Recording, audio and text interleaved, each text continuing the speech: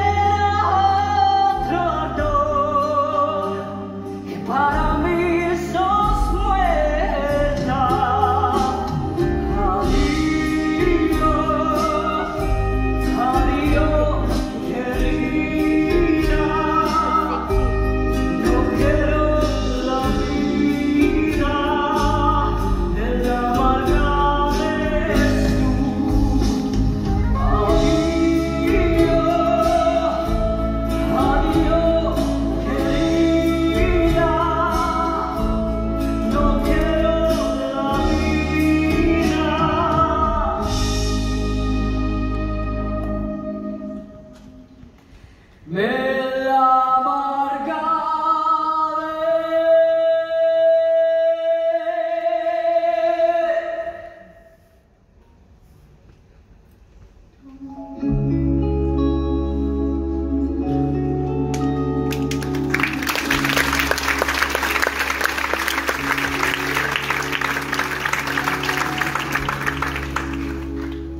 זהרה עזבה את ירושלים ונעלמה. הרב וידל הלך לעולמו, וביום מן הימים מצאו את זהרה מתה ביפו.